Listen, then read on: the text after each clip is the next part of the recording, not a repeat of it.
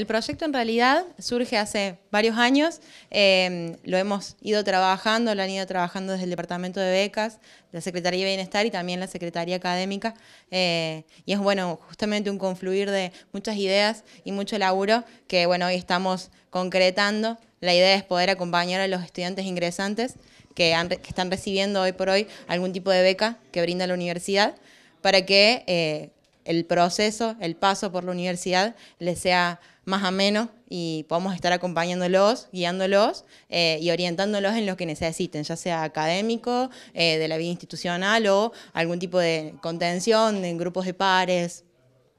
Y ese acompañamiento va a ser de la mano de estudiantes más avanzados. ¿Cuántos eh, alumnos van a estar participando? Bien, los estudiantes que vamos a estar participando somos 10, una coordinadora, yo, y nueve chicos que han sido seleccionados a través de bueno, un proceso de selección son tres estudiantes de agronomía veterinaria, tres estudiantes de humanas, uno de, uno de ingeniería, uno de exactas y uno de económicas. Eh, esto, bueno, se, definió por la proporción de ingresantes que ha recibido cada una de las unidades académicas. ¿Y cuándo van a comenzar las actividades propiamente dichas junto con los estudiantes becados? Bien, hoy fue la primera reunión con los tutores, con la idea de poder definir una primera reunión con quienes van a recibir las tutorías, y esa bueno, reunión ha quedado para el miércoles 19 a las 13 horas.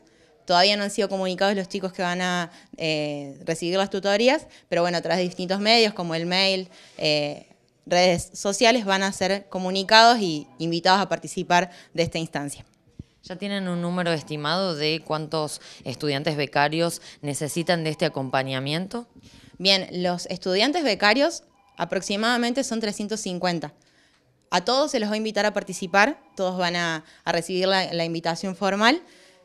Después, quienes decidan participar voluntariamente, lo van a hacer. No es una, formalidad, no es un programa obligatorio, pero creemos que va a ser parte de, eh, bien el buen desarrollo de, los chicos dentro de la universidad para después en, abril del año que viene la evaluación de las becas no sean tan eh, duras y queden tantos afuera del, sistema, afuera del sistema de becas que pasa muy seguido por no tener ese apoyo, esa contención, ese acompañamiento. Viene a atacar un poco eso, ¿no? El poder decir, bueno, hoy ingresaron 350 estudiantes con becas, que en abril del año que viene también sean 350.